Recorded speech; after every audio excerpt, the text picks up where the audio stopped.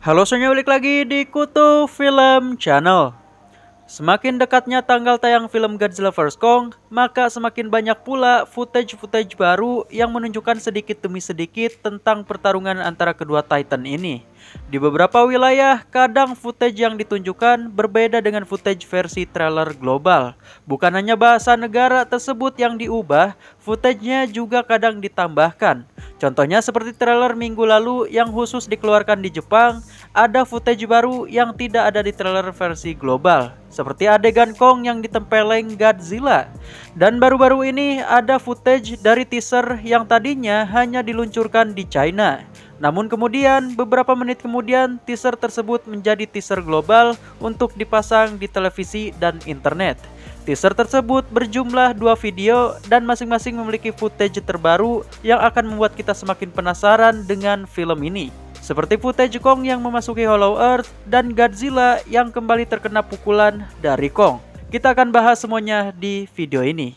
Namun ada 74% dari penonton kutu film yang ternyata belum subscribe. Jadi silahkan klik tombol subscribe-nya supaya kalian gak ketinggalan info-info terbaru seputar film Godzilla vs Kong dan info-info menarik seputar kaiju lainnya. Oke lanjut.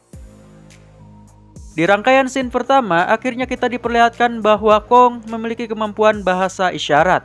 Ini pastinya adalah kemampuan yang diajarkan oleh Jia, yaitu anak kecil yang selalu mendampingi Kong ke mana pun dia pergi.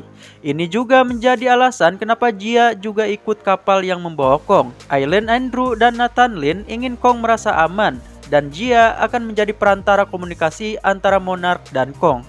Di sini Kong terlihat mengatakan home yang akan membuat kita mengira bahwa kejadian ini terjadi ketika Kong berada di atas kapal dan Kong mengatakan kepada Jia bahwa dia merindukan kampung halamannya, Skull Island. Dan pastinya Jia berusaha untuk mengatakan jangan khawatir kepada Kong sehingga di sini Kong sangat tenang sekali. Sampai akhirnya Godzilla pun datang merecoki iring-iringan kapal yang membawa Kong tersebut. Namun sebelum kita beralih ke scene berikutnya, terlihat di latar belakang adegan ini seperti terdapat sebuah gunung dengan lava.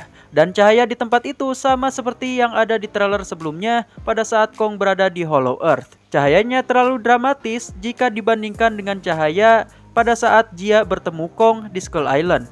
Kemungkinan ini adalah ketika Kong sudah ada di Hollow Earth dan berusaha mengatakan ke seseorang di depannya bahwa Hollow Earth adalah kampung halaman yang sebenarnya bagi Kong.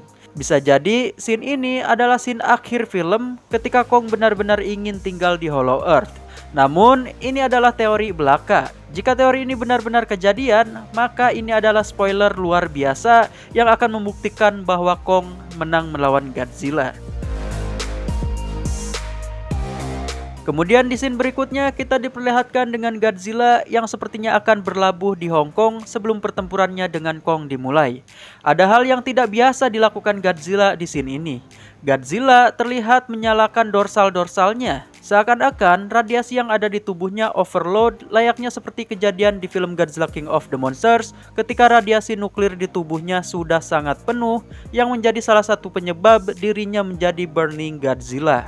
Memang sepertinya ini adalah adegan sambungan sebelum dia mengamuk di kota.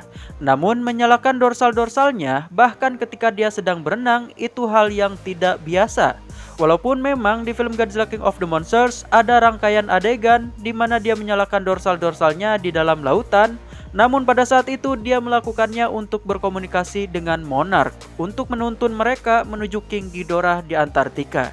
Jadi ada tiga kemungkinan. Yang pertama, Godzilla memang melakukan itu untuk berkomunikasi dengan Kong atau bahkan menantangnya. Yang kedua, dia sangat marah sehingga dia sudah siap siaga dengan napas atomnya yang sudah fully charged atau siap disemburkan. Atau kemungkinan terakhir, memang ada yang memberikan asupan radiasi sebelum dia mengamuk. Kutu film tidak mau mengatakan bahwa itu adalah Mecha Godzilla yang menyamar. Karena seperti di video sebelumnya bahwa teori Mecha Godzilla menyamar menjadi Godzilla adalah hal yang terlalu kejauhan. Dan terlalu cepat jika Mecha Godzilla harus memiliki kemampuan semacam itu di film ini. Butuh beberapa film lagi untuk melihat hal tersebut agar cerita Monsterverse tidak terburu-buru. Di rangkaian adegan berikutnya, kita diperlihatkan kembali dengan pertempuran keduanya di atas kapal. Dan kali ini, Godzilla kembali menerima pukulan yang kedua kalinya setelah Kong tumbang di tempeleng Godzilla. Jadi dengan demikian, Godzilla sudah menerima dua pukulan, sedangkan Kong satu. Jadi 2-1 skor untuk Kong. Kemudian kita diperlihatkan dengan keadaan di dalam kendaraan Monarch yang disebut Hive yang digunakan untuk memasuki Hollow Earth. Di sini yang menjadi pilotnya adalah Nathan Lin dan di sebelahnya ada Eileen Andrew serta mereka juga mengajak Jia. Kemungkinan besar ini adalah adegan di mana mereka sedang mengikuti Kong masuk ke dalam Hollow Earth, namun sepertinya Godzilla menghadang mereka. Kendaraan mereka terombang-ambing karena Godzilla. Ini bisa jadi Godzilla mengikuti mereka sampai ke Hollow Earth atau Godzilla menghadang mereka setelah Kong sudah mendapatkan kapak dorsalnya dan hendak keluar.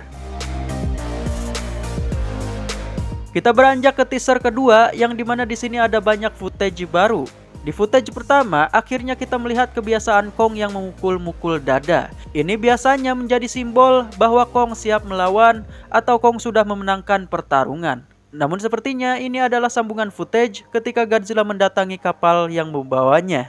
Kita bisa lihat dari langitnya yang serupa. Dan di sini Kong menunjukkan dirinya bahwa dia tidak takut.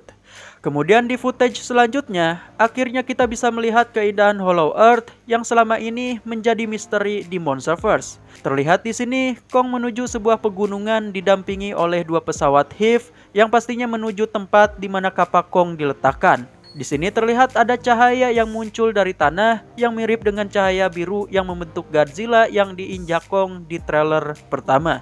Footage selanjutnya menunjukkan Godzilla sedang mengamuk di sebuah kota dengan keadaan dorsal yang menyala seperti footage di teaser sebelumnya. Kemudian kita diperlihatkan dengan Kong yang berusaha menghindari napas atom Godzilla dengan melompat dari satu gedung ke gedung yang lain.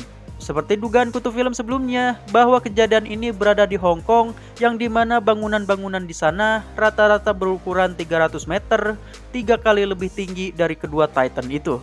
Di sini diperlihatkan juga dengan Godzilla yang sepertinya benar-benar tidak bisa dikontrol lagi. Dorsalnya menyala, matanya menyala, mulutnya siap menyemburkan nafas atomnya. Masih misteri apa yang sebenarnya membuat Godzilla segila itu. Kemudian Madison Russell dan temannya Josh Valentine mengunjungi sebuah ruangan yang sepertinya milik Apex. Terlihat dari logo di dinding yang kutu film perkirakan itu adalah logo Apex. Si penjaga ruangan tersebut berkata bahwa ruangan itu sangat besar. Yang pastinya itu adalah tempat penyimpanan makhluk atau benda yang berukuran besar. Atau bisa jadi senjata yang juga berukuran besar. Dan terakhir kita ditunjukkan dengan konfrontasi Godzilla dan Kong. Di sini, Kong sudah dalam keadaan tergeletak di tanah. Namun Kong masih berani menantang Godzilla walaupun sepertinya Godzilla sudah meminta Kong untuk tunduk padanya. Namun karena Kong tidak tunduk kepada siapa pun seperti yang dikatakan di trailer pertama, jadinya mereka saling menantang satu sama lain. Dari sini kita melihat bahwa Godzilla sudah tidak dalam keadaan mata menyala. Sepertinya Godzilla sudah kehabisan sebagian energinya karena pertarungan yang begitu sengit. Di sekitar mereka juga terlihat bahwa bangunan-bangunan di sekitarnya sudah banyak yang hancur. Bagaimana menurut kalian tentang keadaan mereka berdua di footage ini? Tulis di kolom komentar ya. Banyak sekali yang berkata bahwa ini adalah trailer terakhir dari film Godzilla vs Kong. Namun nyatanya ini bukan trailer, namun teaser TV spot yang ditayangkan di televisi di beberapa negara. Trailer kedua maupun terakhir akan selalu tayang di channel Warner Bros Pictures atau di Legendary Pictures. Jadi stay tune terus ya. Dan informasi sementara tanggal tayang film Godzilla vs Kong di Asia Tenggara termasuk di Indonesia adalah 25 Maret 2021 lebih awal daripada tanggal tayang di Amerika yang akan tayang tanggal 31 Maret. Namun Kutu Film masih belum punya informasi mengenai platform apa yang akan menayangkan film ini sedangkan HBO Max tidak bisa diakses di Indonesia. Atau mungkin khusus di Indonesia penayangannya hanya akan ada di bioskop yang sudah kembali beroperasi. Oke terima kasih sudah nonton video ini. Jika kalian suka videonya silahkan klik like-nya Dan kita akan bertemu lagi di video-video selanjutnya. Saya Kutu Film See you in the next video